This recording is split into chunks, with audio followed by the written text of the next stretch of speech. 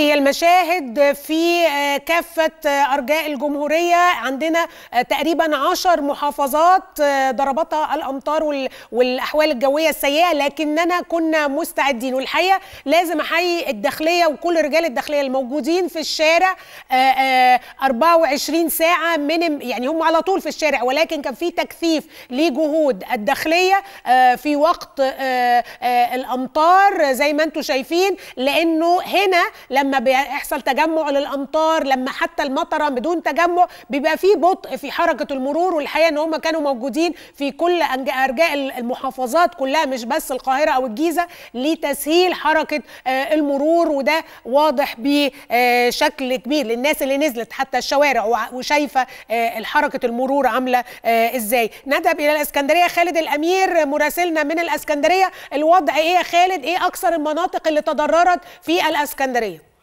شكرا أستاذ لميس أكثر المناطق ضربت في الإسكندرية هي مناطق العجمي وكوبري الثروة السمكية كوبري الواحد أسفل كوبري 21 منطقة البطاش أيضا مصطفى طريق مصطفى كامل والمحافظ الان متواجد فيه منطقة المعمورة البلد وطريق الصحراوي طريق منطقه اسكندرية الصحراوي العمرية وكالة الخضرة والفاكهة في العمرية وعدد كبير من مناطق الإسكندرية.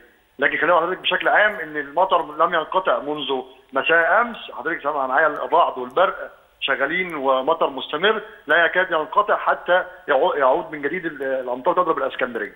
آه ده ده ده لحد دلوقتي لحد دلوقتي يا خالد يعني الدنيا بتمطر آه عندكم لحد دلوقتي؟ آه ما زال استمرار الأمطار بغزارة وكثافة مصحوبة برعد وبرق شديد. آه محافظ الإسكندرية متواجد في مصطفى كامل لحل أزمة غرق شارع مصطفى كامل.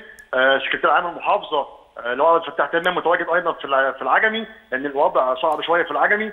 عندنا أيضا دعم من شركات البترول للمناطق اللي فيها ميه مرتفعة وتجمعات مياه وأيضا من القوات المسلحة. أيضا قوات الحماية المدنية أيضا تشارك أيضا في رفع المياه لأن الوضع الوضع صعب جدا في إسكندرية بسبب الهطول المستمر للأمطار. آه يعني ال ال ال الاهم حاجة هل الم... هل آه في شعور إن إحنا كنا مستعدين يا خالد؟ يعني يعني كل الجهات كانت مستعدة كنا عارفين دي نوة المكنسة وبالتالي بنبقى عارفين مواعيد النوات. هل في استعداد؟ كان واضح. كان هناك استعداد بالفعل وابتدينا كده من طريق الكورنيش لم يغرق مثل العام الماضي. آه وبعض المناطق كثيره في اسكندرية لم تغرق لكن كثافة وكثره الأمطار وزياده كمياتها تفاقمت الأزمة قليلا خاصة إن العربيات عربيات رفع المياه حوالي 100 عربية ودعم 50 عربية يعني بنتكلم في 150 أو 200 عربية لا يكفوا كل أنحاء الإسكندرية. امم منطقة العمرية اللي هي مناطق الخضار والفاكهة حصل لها إيه يعني تم إزالتها بالكامل ولا إيه وضعها بالظبط يا خالد؟ هناك هناك محاولات لرفع المياه إلى الآن في وكالة الخضره والفاكهة يعني ودي بتخدم غرب إسكندرية كلها ومساحه شاسعة بيحاولوا يرفعوا المية بشكل مستمر لكن هناك أزمة إن ما, ما تمش السداد فيها ودي طبعا الغرفه التجاريه في اسكندرية لم يتم تطهير الشنايش فيها بشكل جيد أو العبار اللي فيها وده حسب كلام التجار الموجودين في الوكاله أصلا. الصرف في اسكندرية أخباره إيه؟ لأنه دايما الصرف في اسكندرية كان دايما فيه مشكلة يعني مهما استعدينا برضو بيبقى فيه مشكلة في الشنايش في مشكلة في البلاعات. الوضع إيه؟ الأزمة مش في الشناش والصرف أكتر من ازمه ان إن مفيش مفيش خط تصريف أمطار لوحده لكن المطر بيصرف على على بلاعات الصرف الصحي. التي لا تستوعب أكثر من مليون ونص متر مكعب حسب احصائيه محافظة اسكندرية والصرف الصحي.